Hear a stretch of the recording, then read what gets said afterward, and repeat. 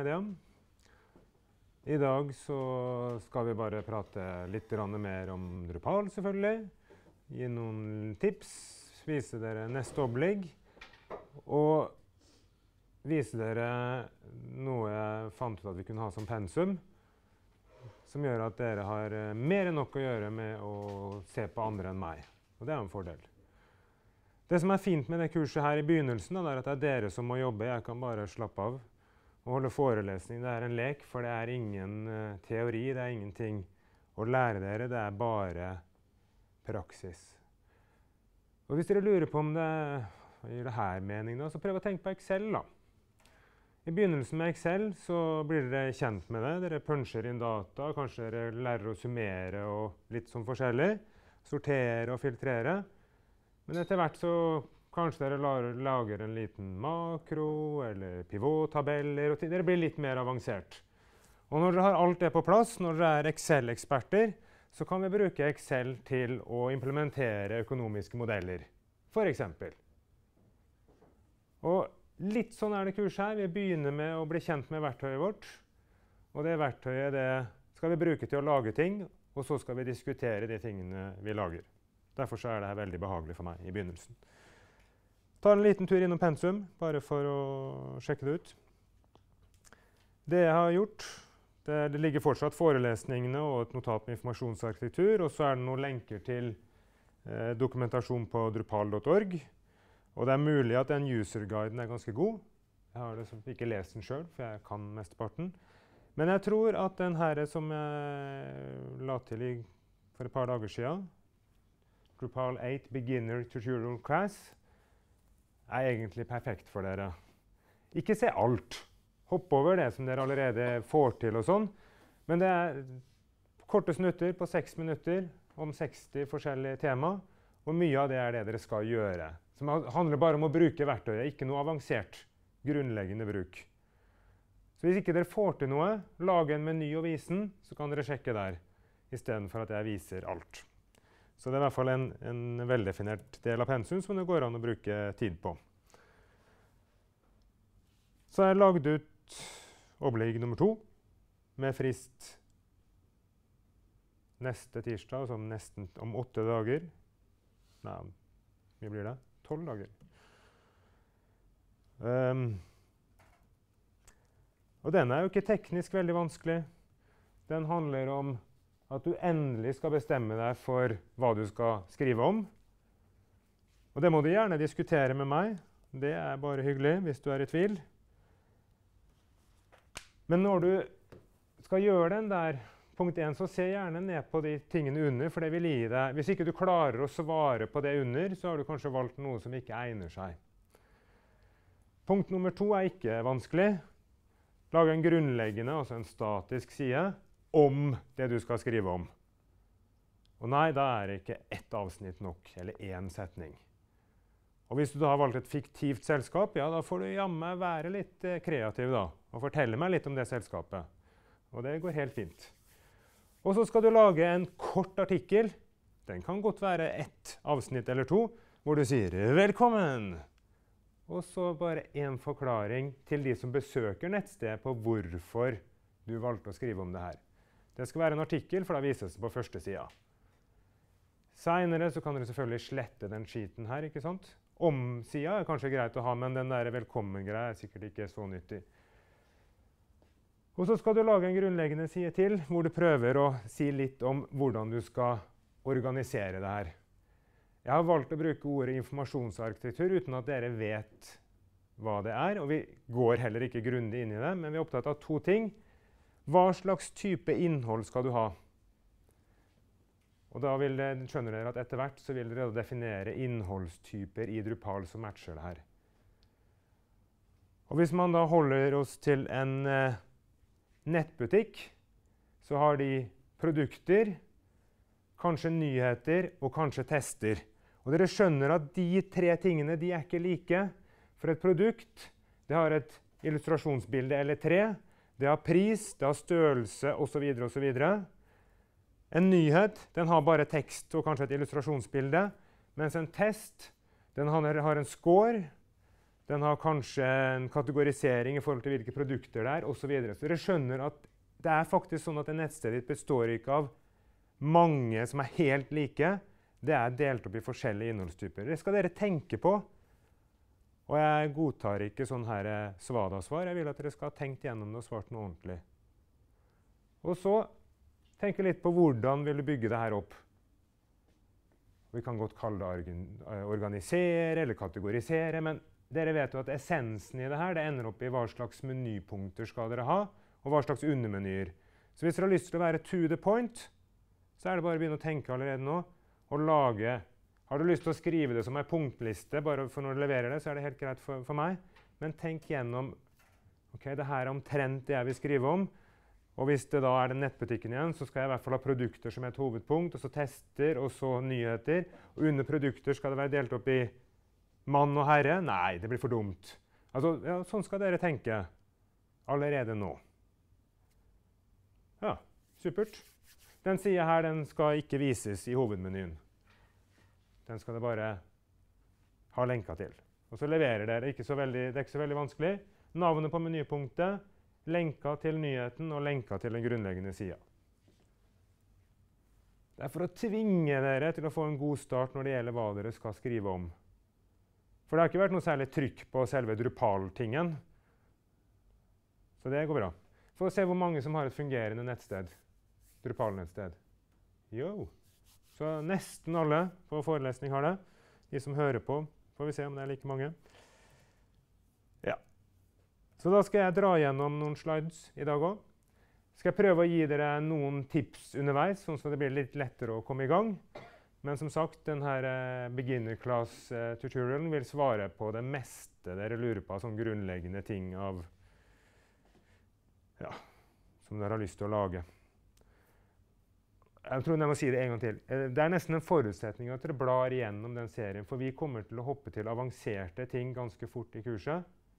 Så jeg bruker ikke tid på å vise dere alt det grunnleggende. Ja, nå har vi sagt det flere ganger. Går det inn? Det er som med kidsa. Skal vi se. I dag er det 26. januar. Stemmer vel det? Vi skal prøve å lære oss noen konsept. Vi liker å prate om innhold, ikke sant? Men hvis dere har, sett, har lagd en nyhetsartikkel, eller side, så ser dere at i adressen så står det node skråstrek et nummer. Så node er det begrepet som Drupal bruker internt for innhold. Altså node da, på, på engelsk, som de prater, de her folka. Eh, så det er greit å vite at det er det det er. Så en node og et innhold det er det samme. Eh, enkelt og greit. Det andre vi bør vite om, det er det vi liker å kalle Drupal-sti. Hvis det er noen av dere som har eh, tatt 430 i SAP, hvis dere har holdt på nok i SAP, så har dere lært det at det er de her kortkodene som dere kan gi for å navigere fort i menyen. og sånn. Drupalsti har litt av den samme poenget, at det skal være en måte å si 'gå til den der sida', istedenfor å fortelle 'klikk der, der og der', og der, eller lage en video av det. Så gir du bare Drupalstien som virker på alle Drupal-installasjoner. Så har vi det her konseptet med et eh, vokabulær eller taksonomi, som rett og slett er en mulighet for deg, hvis du har lyst, til å kategorisere innholdet ditt. Og det her er altså akkurat det samme som alle de taggene som dere bruker på jeg vet ikke, Instagram, eller kanskje noen er på Twitter. Sikkert, jeg vet ikke, Snapchat, er det noen tagger der? Aner ikke. Men i alle fall på Twitter så er det. Og på Instagram. Så dette er mulighet til å merke innholdet ditt. Og grunnen til at man skulle gidde å gjøre det, det er for å kunne navigere etter tagginga. Så hvis du da tagger alle nyhetene med et gitt navn, f.eks., så kan du få opp alle artiklene som det handler om den personen. Og så skal vi faktisk installere en modul i dag. Yes! Og, og, det gjør vi jo hver gang vi har lyst til at Drupal skal oppføre seg bedre. For å gi det mer og mer funksjonalitet. Og det, det skal vi gjøre mye av. Jopp. Så innhold. Så alt i Drupal utenom kommentarer og brukere og filer, det kaller vi en node. Så noen steder så sier vi node, og noen steder sier vi innhold. Men det er det vi mener. Og en sånn node den kan i prinsippet inneholde hva som helst. Men Vi snakker jo gjerne tekst, og at du legger til et bilde som vises der. og sånn. Men det vi tenker på, det er hva slags type innhold. Nok om det. Hvis dere leser enda litt finere, så vil det dukke opp et nytt ord Hei, som heter entiteter. Og det skal ikke vi bruke mye tid på. De som har lyst til å programmere for Drupal, vil oppdage det at alt er en entitet. Det er rett og slett bare en, en enhet for å lagre et eller annet. Så brukerne og filene og kommentarene og alt sammen er en entitet. Hvis dere ser det ordet, så trenger dere ikke bli skremt. Men da skjønner dere at det, da er det enda mer generelt enn node. Det gjelder alt slags ting som du har putta inn. Og de her entitetene de kan man legge masse informasjon til. Da. Så for en fil for eksempel, så kan man legge da, til informasjon om eh, når den ble oppretta. Man kan kategorisere den hvis man har lyst. Man kan gi en, eh, en, geografisk lokasjon hvis man har lyst. Det gjør man vanligvis bare på bilder, men du kan gjøre det på spesielle filer osv. Hvis man har lyst til å finne innhold, så kan du bruke Drupalstien admin content. Må vi teste at det virker.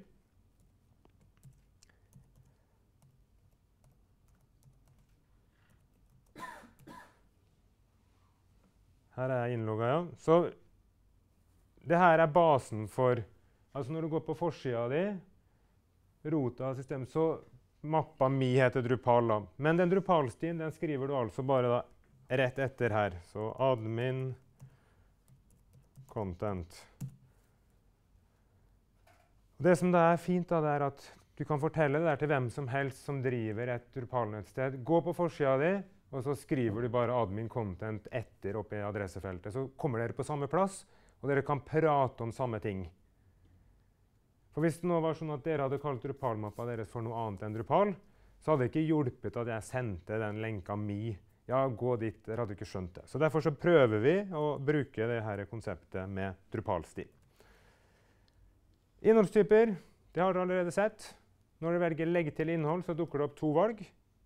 Det er det som, altså Når dere valgte å installere den standardprofilen så var det nettopp det dere gjorde. Dere valgte en profil som inneholdt to innholdstyper som standard. Og det er grunnleggende side og artikkel. Hva er det som er forskjellen på de da? Har dere holdt på nok til det? Kom igjen. Forskjellen mellom en grunnleggende side og en ja, Det står én ting her. da. Det står 'ikke godtar kommentarer', godtar kommentarer. Ja, Det står jo svaret her, faen. Ja, ja, whatever. Forskjellen altså at en, eh, Og det her er valg på innholdstypen. Vi kan gå inn og se på det etterpå. Men en artikkel den vises på forsida fordi at det er en nyhet. Mens grunnleggende side den er jo ment å være bare én side og ikke vist sammen med alle de andre sidene. Så den kan ikke vises på forsida. Hvis du da får masse grunnleggende sider under hverandre, så blir det helt uleselig. Så de kommer ikke på forsida. Og så driver du vanligvis ikke og diskuterer en grunnleggende statisk side. sånn hvis du har, har, om oss, så er det ikke noe vits å ha en diskusjon under der. for det, der, Derfor er det ikke noen kommentarer. Så det her eh, skal vi se på. Og dere skal legge til flere sånne i løpet av kurset.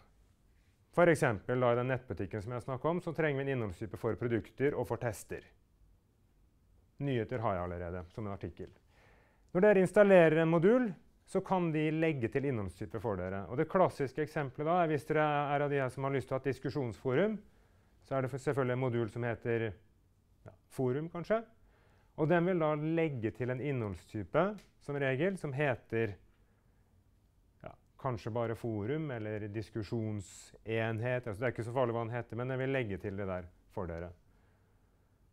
Og det kan være ganske praktisk. Eller så kan du lage et diskusjonsforum sjøl.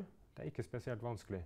Det krever ingen programmering. Trenger ikke skrive en linje med PHP for å gjøre det. Du definerer bare en innholdstype som er da denne diskusjonsenheten, og så lager du ei liste av det.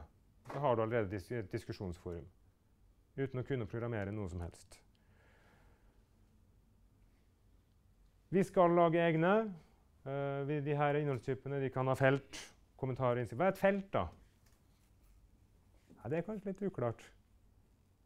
Hvis vi tar denne uh, artikkelen, så har den to felt. Den har et bilde og så teksten. Body, eller hva nå de velger å kalle det.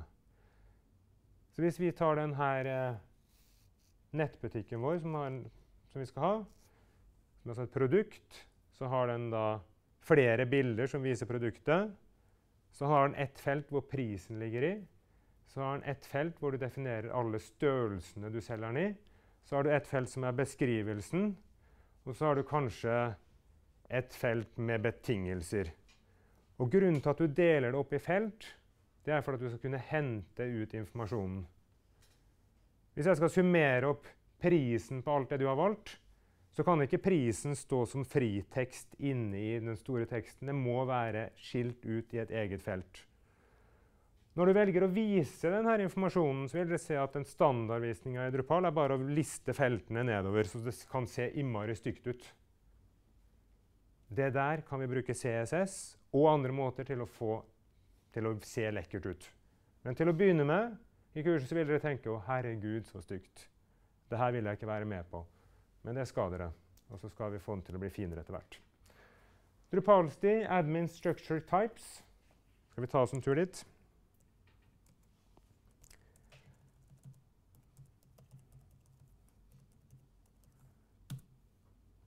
Fordelen er å skrive riktig, da.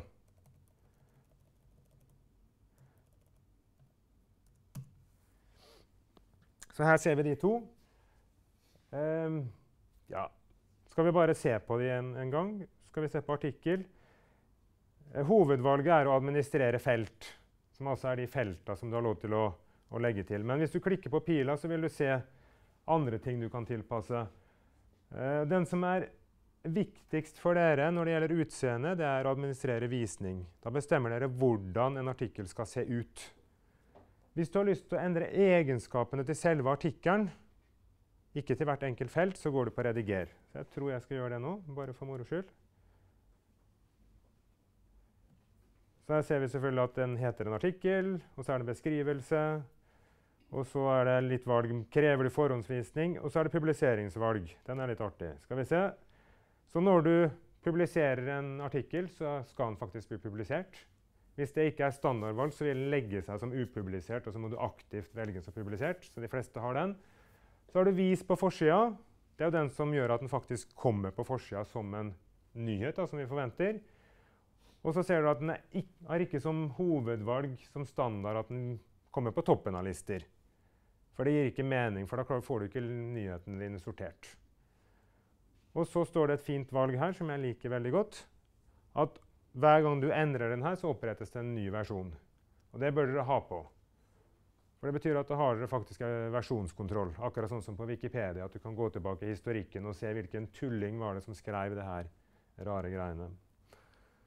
Språkinnstillinger skal vi oppover. Visningsinnstillinger er veldig enkelt. Skal du ha med forfatter eller ikke? Og på menyvalg så bestemmer du hvilke menyer som er tilgjengelige for plassering. Det er derfor dere leker dere litt med. Det skal jeg hoppe elegant over. Men her er i hvert fall det som gjør det her til en, til en nyhet, det er egentlig at den vises på forsida. Et lite obs, da. Dette er altså definisjonen av hvordan innholdstypen oppfører seg. Hvis du nå har lagd ti nyheter, og så vil du at de ikke lenger skal vises på forsida, så går du inn i innholdstypen og endrer det. Da gjelder det bare for de nye nyhetene. Okay? Så her, når dere er inne på innholdstypen, det gjelder altså ikke for ting som dere allerede har oppretta. Da må dere gå inn på hver enkelt ting. Og det kan være veldig irriterende. Særlig hvis du da ikke bare har 10, men la oss si at du har 50 av noe, så vil du endre Slå av kommentarer, f.eks. Så er det mye arbeid. Det fins måter å gå rundt det, selvfølgelig, men uh, som standard så oppfører det seg sånn. Kategorisering. Her kan man slå seg bananas, eller slå seg løs. Gå bananas, heter det. Så her kan dere tagge fritt eller tvungent. Det betyr at dere kan definere på forhånd hvilke tagger som er tilgjengelig, sånn så brukeren bare velger de. Eller så kan dere ha det helt åpent, sånn som det er vanlig på nett. Hvis man driver eh, en turnering, f.eks., og så er det mange lag som deltar, så pleier jeg da, å lage en kategori som inneholder alle lagnavnene. Sånn som når det kommer en nyhet, så kan man tagge hvilke lag den nyheten handler om. Så Senere kan man da klikke inn på Molde, så får man opp alle nyheter om Molde. Eller man kan klikke inn på Ålesund eller whatever.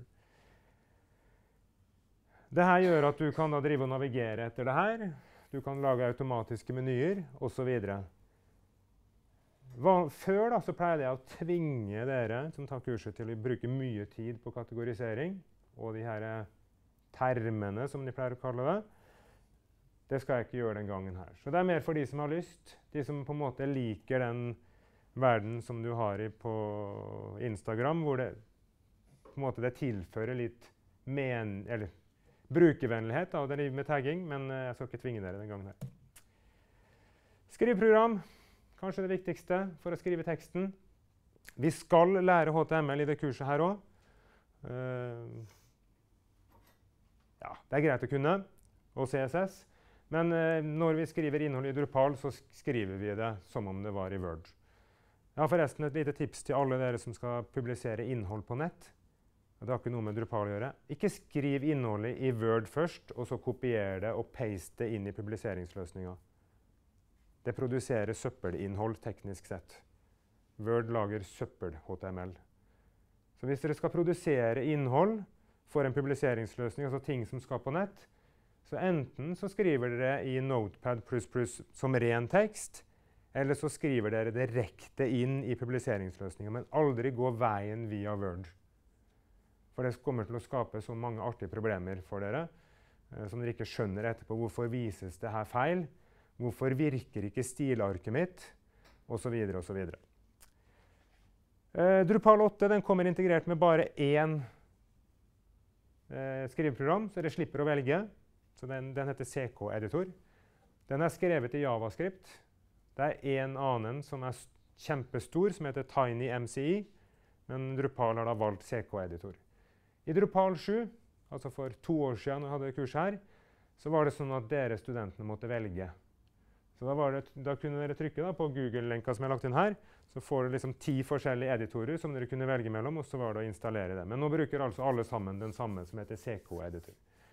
Og Det er et prosjekt da, som lever utafor Drupal. Det er mange andre som bruker det. det som, eh, dere må gjerne bruke den til å sette inn bilder og sånne ting. Men etter, litt seinere i kurset så skal vi installere den eh, modulfamilien som heter Media, som gjør at det blir litt bedre å administrere bilder. Men dere må gjerne prøve å lime inn bilder og styre på allerede nå. Men vi skal gjøre, komme med en bedre løsning etter hvert. Men vi må vise litt på det nå. Litt. Rann. Jeg trodde jeg hadde kobla ut Facebook. Se der, ja. Vekk med han. Uh, ja, innhold. Legg til innhold. Grunnleggende side. Tikk, tikk, tikk. Og så ser dere her at her, Hvis jeg skriver her nå, så er det det er, ingen, det er ingen meny som lar meg lage ei liste eller innrykk eller noe som helst. Og så står det begrensa HTML der nede. Mm, og så står det til og med grunnleggende HTML, og så står det komplett. Hvis jeg bytter til komplett, da kom den der eh, menyen her oppe. Det er sånn den ser ut i CK-editor. Den ligner jo ikke på Word, men den har mye av det samme. Og du kan legge til flere knapper hvis du trenger det. Det kan vi også se på. Men var ikke det litt irriterende at du hele tida må gå ned hit på tekstformat og klikke 'komplett'? Ja, Det er veldig veldig irriterende. Så eh, vi skal fikse det med en gang. Konfigurasjon. Jeg skrev det vel i en melding på Facebook at dere skulle prøve å finne ut av det sjøl. Ah, her er masse å velge mellom. Men innholdsproduksjon, det er jo det vi gjør. Der står det tekstformater og tekstbehandler. Og den lista her den beskriver hvilke format som er tilgjengelig. Og så kan man jo lure på hvorfor i granskauen har de det her. Det var jo dustete. Jo, det handler om sikkerhet. Så en redaktør som vi stoler på, han skal selvfølgelig få lov til å skrive full HTML. Altså Han skal få lov til å gjøre hva som helst. Men en person som sender inn en kommentar, han bør ikke få skrive hva som helst. For da kan han hacke nettstedet ditt og injisere javascript og i det hele tatt eh, gjøre mye dritt. Så Derfor så har du forskjellige nivåer. Så komplett HTML den bør du bare gi til de som du faktisk vet hvem er, som du stoler på. Deg sjøl. Og så blir det mer og mer begrensa. Og de som du ikke stoler på i det hele tatt, de får bare lov til å skrive ren tekst. Og så ser dere hvilke editorer som er kobla til. Så kan du sette det forskjellig. Men uansett, den lista her er da sortert sånn at det som er øverst, er det som er standard. Så da drar vi bare komplett øverst. Og så lagrer vi. Og så slipper vi det styret med å huske på det. Så går vi tilbake til å lagre innholdet vårt. Så ser vi at det Ja, bra. Da er den på plass. Så de her tekstformatene som alltid står der, det handler om sikkerhet. Det er ikke noe annet enn det. Og eh, som sagt, Vi stoler på oss sjøl. Vi er jo til og med administratorer, så vi kan i hvert fall ha tilgang til eh, komplett HTML, eller full HTML, som det er på engelsk da, hvis dere googler det.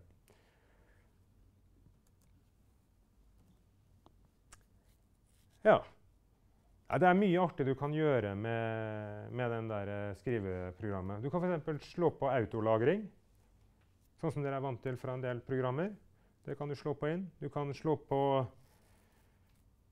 en hel masse av de effektene som du er vant til i Word osv. Jeg pleier å ha så lite knapper som mulig. Det er forresten et tips at dere bør ikke legge til flere knapper enn det dere vil at folk skal skrive. Altså Hvis dere vil at de skal f.eks. ikke ha lov til å endre fargen på teksten, ja, da må dere ikke legge til en knapp for å endre farge på teksten. da. Hvis dere vil at de skal bruke overskriftsvalget overskrift 1, 2 og 3, sånn som man egentlig skal gjøre når man skriver i Word òg, masse folk som misbruker Word, ja, da må du legge til en knapp for at folk får lov til å velge det. Og Dette er innmari viktig, for det øker kvaliteten på nettsida di. Og så gjør det at når du etterpå holder på med CSS, så kan du styre hvordan alt ser ut, istedenfor at folk har vært inne og satt den der teksten at den skal være rød, men da kan ikke du skifte farge på den. Aldri. For da er den rød. Roller og rettigheter. Skal ikke si så mye om det. Det er tre forhåndsdefinerte. Det er de som ikke er logga inn, altså gjester eller anonyme. Og så har vi de som er logga inn.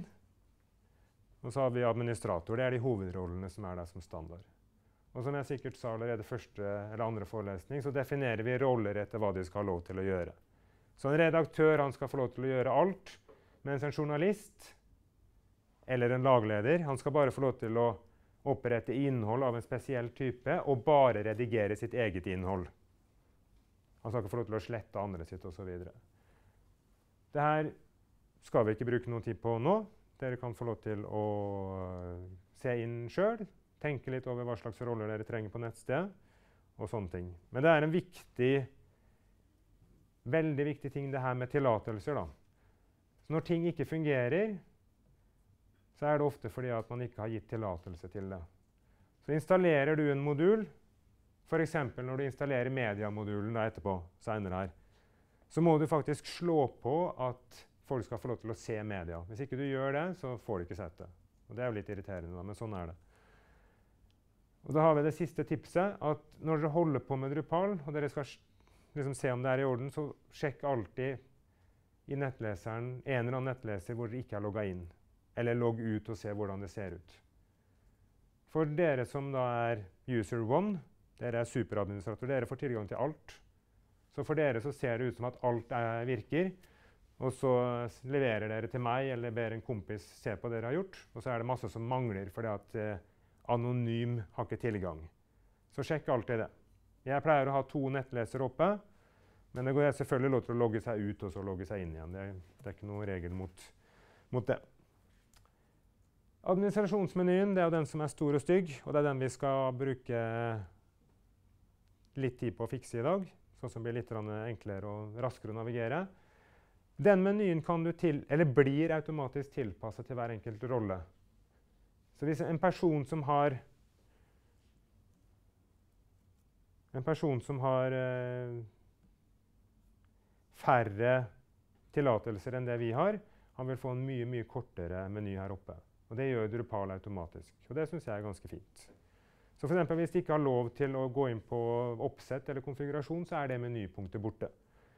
Det er også en god grunn til å bruke denne Drupal-stig-greiene. For Hvis du da sier at de skal klikke der og der og der, og der, og så fins ikke det menypunktet, så blir man forvirra. Så den der skal vi fikse etterpå. Gjøre den litt mer eh, brukervennlig. Installasjon av moduler. Der har vi tre måter. Ja, egentlig fire. Men den siste er så nølete at ingen kommer til å gjøre det. Men den ene måten det er å gjøre det via grensesnittet til Drupal. Det betyr at du går der hvor du velger å eh, klikke for å installere modul. Og da vil den bli lasta opp indirekte via FTP. Og det er det som jeg vil at dere skal bruke. Altså dere som ikke dere som ikke syns Falsilla eller Putti er gøy, dere gjør det på den måten. Og det er veldig robust og fint. Hvis det er noen som har brukt Wordpress, så er de kanskje vant til at der er det bare å klikke og så installere. Det er en sikkerhetsrisiko. så Derfor så har Drupal valgt å gjøre det i en Dere vil oppleve, oppdage det etterpå at det er en totrinns eh, prosedyre hvor FTP er involvert, men indirekte. Du kan gjøre det direkte med Falsilla ved å laste inn modulen opp i modules-mappa.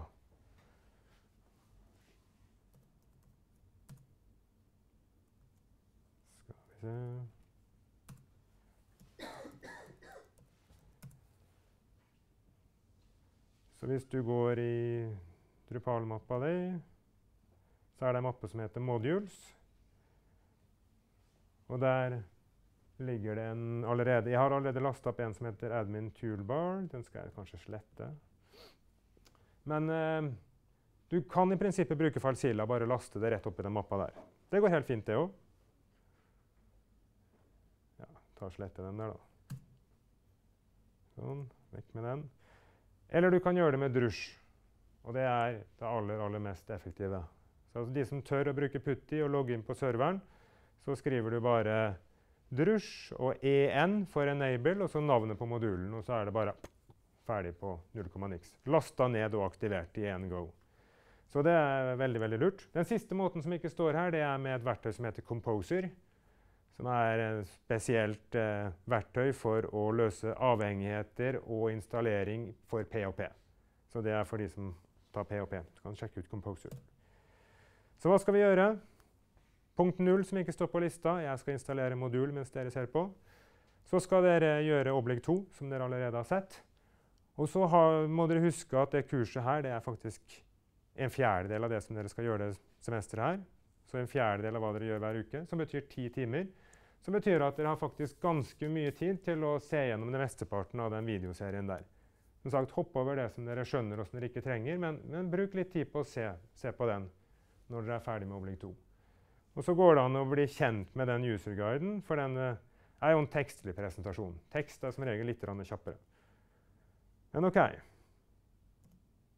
Vekk med den. Moduler. Utvid. Det som er irriterende med Chrome, det er at når du har forskjellige profiler Nå har jeg tatt bort den profilen som hvor Facebook ligger, men den ligger i bakgrunnen og kjører allikevel. Det var ikke meninga. Nå har vi gått inn på utvid, som altså gir oss lista med moduler. Og Nedover her så, så, ligger det som allerede er installert. Noen har allerede vært her. Da ser vi at CK-editor ligger der, og den er aktivert. Forum. Der ligger jo allerede diskusjonsforum. Ikke aktivert. Slå på den hvis dere har lyst til å teste ut forum. Jeg anbefaler ikke det. Bla, bla, bla. Og den her kan selvfølgelig hvis du bruker det filteret, så går det litt fortere. Så hvis du lurte på forum, så kunne du begynne å skrive forum. Forum. Der var den, ja. Mm. Eh, last ned ekstra moduler fra bidragsytere. Der, men der, ja. Installere ny modul. Og Da har du to valg. Det ene er at du en UR, oppgir en URL, eller du laster opp en fil. Da anbefaler jeg bare å bruke URL-en. Og så står det allerede her nede at den eller står her at den godtar ZIP, så vi skal prøve det. Men da må vi først finne en modul. da. Og da kan vi bruke de lenkene her. Så her er det 36 500 moduler å velge mellom. Som altså rett og slett gir deg mer funksjonalitet i Drupal. Og da blir det jo veldig vanskelig, da, for hva, hva, skal vi velge? Eh, nesten, nesten, umulig å vite. Eh, det går an da å eksempel, Nå har jeg lyst til å få et litt bedre administrasjonsgrensesnitt. Jeg syns det er innmari mye klikking, ikke sant? for det er jo det. Klikk, klikk, klikk. klikk. Så administration, og så kan vi si at vi holder bare på med Drupal 8. Sånn, det er 370 å velge mellom, bare. Veldig bra. Most installed Nei, skal vi ta det Vi tar det på tittel, vi. Jeg gjetter at alle modulene som har administration, begynner med ad admin. Access, unpublished, accessibility, add to head, address, admin ja, ikke sant? Det blir veldig Oi. Men der var den faktisk heldigvis på admin toolbar veldig tidlig. Den som jeg så at jeg sletta i stad. Jeg skal installere den på nytt nå. da. Den der, når dere ser bildet, så ser dere at den gjør det fine at istedenfor at du må klikke fem ganger, så folder menyene seg ut når du holder muspekeren over. Og da sparer du med tanke på at hver gang du klikker, så tar det tre sekunder før sida vises igjen, så sparer du altså 15 sekunder på hver operasjon på det her. Så den skal vi installere. Hvordan dere finner sånne moduler, det er ikke ved å bruke denne eh, menyen med 37 000 valg. Dere googler selvfølgelig. Så da ville det vært eh, eh, Drupal og Administration Menu. Og så ville det kommet opp som første treff, sannsynligvis. Men nå har vi funnet den ved å bla. Så her har vi den. Og akkurat sånn som eh, Nei, det har vi kanskje ikke gjort før. Her er det to adresser vi kan linke ned som. En eh, tar GZ og en ZIP. Det går for det samme hvilken dere tar. La oss prøve ZIP, da, siden jeg sa dere skulle bruke ZIP for å installere Drupal. Og nå høyreklikka jeg og copy link address. Så går jeg tilbake hit. Installer fra modul. Og da ser dere at den adressen der den matcher det som står under her. Eh, omtrent. og Her står det tar GZ, og der står det ZIP. Og Da kan jeg klikke 'installer'. Og nå får jeg en advarsel. Pip, pip, pip. Dette er ikke en kryptert forbindelse, og passordet blir sendt i ren tekst. Og det skal dere faktisk ta alvorlig, for det passordet som dere skal bruke her, det er jo feidepassordet og studentnummeret ditt. Så Derfor så skal vi faktisk eh, ikke installere her. Vi skal avbryte. Og så kan vi gå til fra første sida. Så OK, sånn ser det ut. Og hva, hva, når er det kryptert? Jo, det er når det står HTTPS foran. Så det må dere skrive inn manuelt. Da får dere en kryptert forbindelse til den serveren her. Så den serveren støtter det. Og nå ser dere at vi har fått eh, nøkkellåsen her borte osv. Så, videre. så når dere skal installere moduler, og sånn, så anbefaler jeg sterkt at dere bruker HTTPS. Og det dere også vil merke, er at eh, dere må logge inn på nytt fordi at dere har bytta protokoll. Uh, hva heter jeg da? Fekte boss eller sjef? Å, tusen takk. Hvis ikke, så hadde det stått på førstesida. Passordet mitt det husker jeg, og det er jo bra. Greit. Never. Så da gjør vi det en gang til. Uh, installer. Lim inn og installer. Nå fikk vi ingen advarsel, ikke sant? Og så ser vi at eh, forbindelsesmetode, der er det bare FTP. Hvis du hadde installert en modul til, så hadde du kunnet valgt SFTP. Men så lenge du er på HTTPS, så er det greit. Så her er det studentnummeret og feidepassordet. Og du trenger ikke ha noe avansert. Prøv å skrive passordet riktig, da.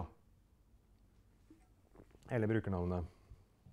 Vi prøver en gang til. Skal vi se. 89 1430. Og ingen mellomrom der. Men nå står det capslock på her på tastaturet mitt, så det kan jo forklare ting.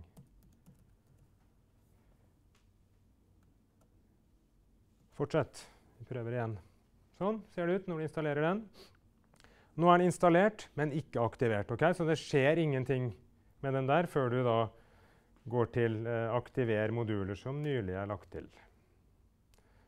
Og Da må du finne den. Og Da kan du scrolle nedover, eller så kan du bare søke, filtrere. Admin. Ja, ja. Der kom den. Og Da holder det å ta toolbaren. Du trenger ikke ta den ekstra tools. Og så er det 'installer'. Og Det der er den sånn operasjonen som kan være litt treig. Uh, fordi at den skal eh, laste ned oversettelser. Det gjør de alltid når de installerer en modul. og Hvis dere har valgt å kjøre på norsk, så laster den også ned eh, oversettelsene til den der. Og oversettelser er eh, tungt, for da må du sette det inn i databasen. Ja. Ni oversettelser, nei, 31 oversettelser, bla, bla, bla. Skal vi se om det Ja, hei! Ja, allerede på plass. Veldig bra. Så f.eks. hvis du nå skal legge til en artikkel, så går du på innhold. Og der var ikke legge til innhold. Det var veldig rart. Det burde vært eh, legge til under der, iallfall. Konfigurasjon så funka det jo fint, da, for her kan jeg gå nå på utvikling, ytelse, eh, vedlikeholdsmodus f.eks. Da kan jeg sette det i vedlikeholdsmodus. Jeg kan gå på struktur, innholdstyper, og gå inn der og gjøre det jeg skal. Ja da. Vi skal legge til én modul til, faktisk, som er enda bedre. Um, så vi skal gå og vi skal finne en som heter Coffee. Og da skriver vi det bare. Men med e, to e-er, ikke tre. Den eh, lar deg søke i menyene istedenfor å navigere. Og noen av dere som er vant til Mac, dere pleier å få opp den Spotlight-søket, og samme når du skal lete etter apper eller programmene på Mac-en din. Så vi skal installere den her òg. Den har bare en beta. Copy link address. Utvid. Installere ny modul.